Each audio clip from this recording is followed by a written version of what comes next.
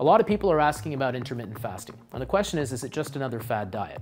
In fact, science tells us that its benefits go far beyond weight loss. I'm starting to see it as a transformative lifestyle change, much more so than just a diet strategy. So let's get into it. What exactly is intermittent fasting? So basically at its core, it just means going through sustained periods of time with little or no calorie consumption. The three most widely studied regimens are alternate day fasting, where you fast or at least restrict your calories every other day. So you have these alternating feast days and fast days.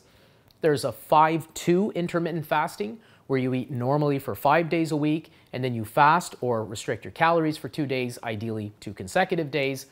And then there's daily time restricted feeding, where you eat all of your calories in a six to eight hour time window each day, and then you fast for the other 16 to 18 hours a day.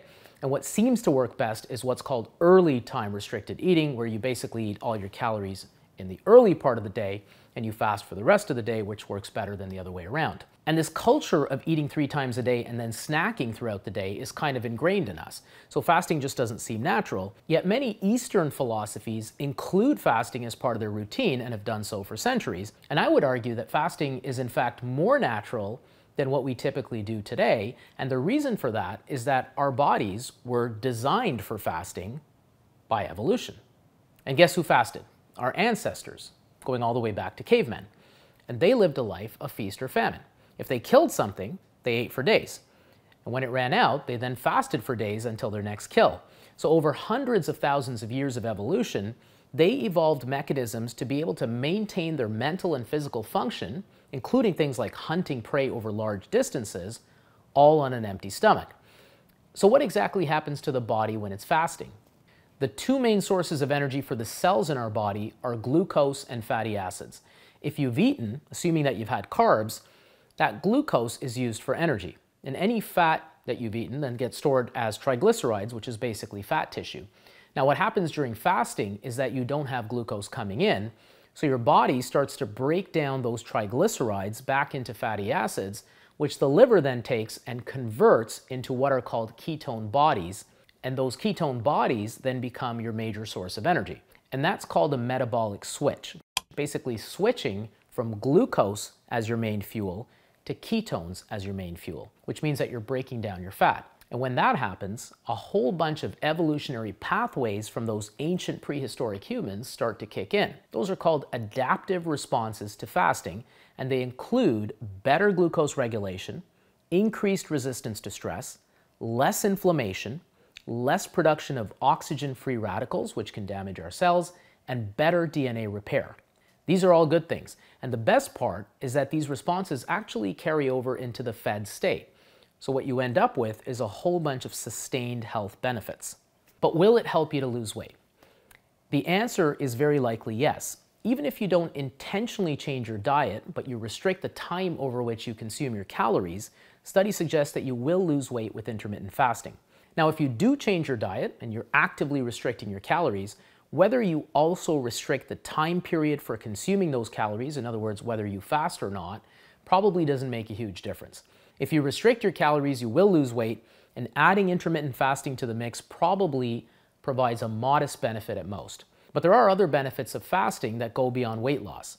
Studies comparing intermittent fasting regimens with other weight loss strategies show that for the same amount of weight loss, those who fasted had a better reduction in waist circumference, which is correlated with cardiovascular disease, and less insulin resistance, which is a precursor of diabetes. And aside from weight loss and metabolic effects, we now have hundreds of studies looking at the broader health effects of intermittent fasting. For example, studies show that alternate day fasting can reverse insulin resistance in patients with prediabetes or type 2 diabetes and reduces sugar levels, insulin levels, and cholesterol and that ties into cardiovascular health. Many studies now show that intermittent fasting improves blood pressure, resting heart rate, cholesterol and triglycerides, and all of this happens in non-diabetics. It also reduces markers of inflammation and what's called oxidative stress, both of which are associated with atherosclerosis, or formation of those plaques that block our arteries. And those improvements can be seen within two to four weeks of starting intermittent fasting, though they do go away if you resume a normal eating schedule. We've also known for over 100 years now that fasting reduces cancer in animals. Studies have shown less tumors, less growth in tumors, and better responses to chemo and radiation. But the most impressive effect might just be on aging. So multiple studies have shown that rats and mice who fast live anywhere from 14 to 45% longer. But what if you're lifting weights and trying to bulk up? You obviously need protein and you need your calories, so intermittent fasting seems like a bad idea. But in fact, the effect of intermittent fasting on physical activity is an area of debate. The body does tend to conserve energy when you're fasting by reducing the number of calories it uses during exercise. And at the same time, some studies suggest that people who fast might naturally reduce their activity levels, and that might mean loss of muscle mass.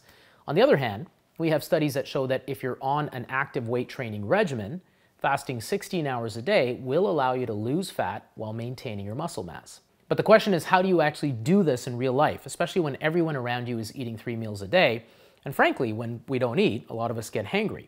The reason for that is that when you're hungry, you crave sugar, and if you don't get that sugar, your stress hormones increase, which makes you irritated, reduces your concentration level, and that makes you prone to anger.